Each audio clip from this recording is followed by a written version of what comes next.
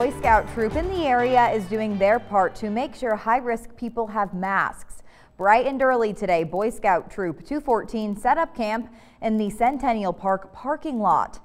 The troop handed out masks until 11 this morning to people who fall into the high-risk category for getting COVID-19. The Elkhorn Coad sponsored today's event. The troop says they have 7,000 masks, so they could do this event a few more times.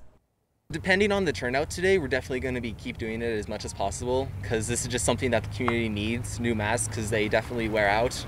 We have 7,000 and we're hoping to hand out as many as possible. If you missed your chance at getting a mask this morning, there's still time.